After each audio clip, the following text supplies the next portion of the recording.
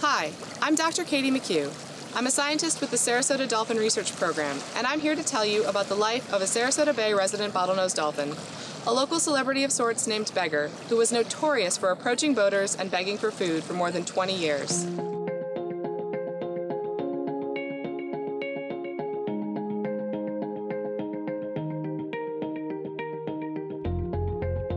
Normally, wild dolphins will use a variety of tactics to find and catch fish, and they rarely approach humans.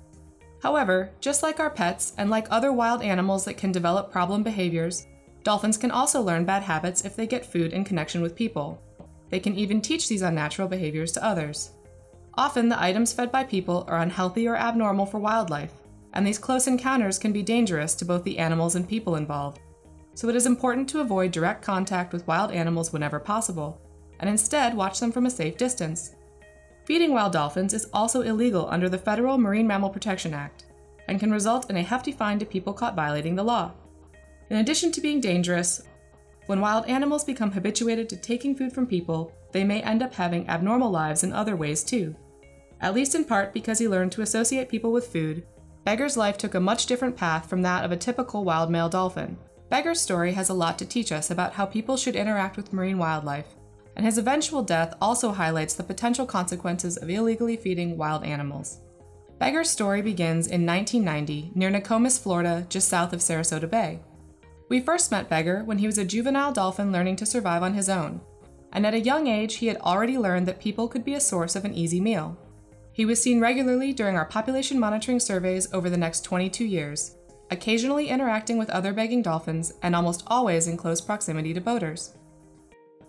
Although he lived to be a middle aged adult, Beggar traveled in an extremely limited home range, and he did not form normal male social bonds, nor was he a father as far as we know. Instead, he spent most of his time alone, interacting with or waiting for boaters, rather than traveling, feeding, or socializing with other dolphins. Unfortunately, Beggar's story came to an abrupt end on September 21, 2012, when he was found dead.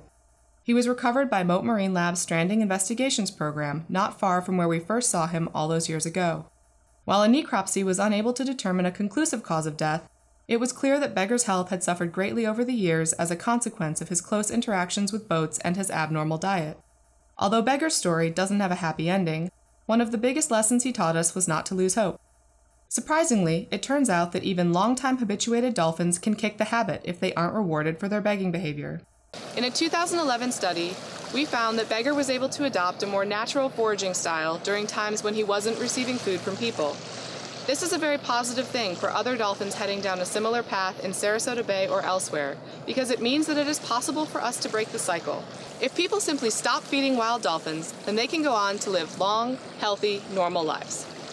You can help keep wild dolphins wild by staying at least 50 yards away and watching from a distance, making sure to never throw fish, food, or trash items overboard, and teaching others what you've learned by sharing the information in this video and the Don't Feed Wild Dolphins public service announcement. For more information, please visit don'tfeedwilddolphins.org and sarasotadolphin.org.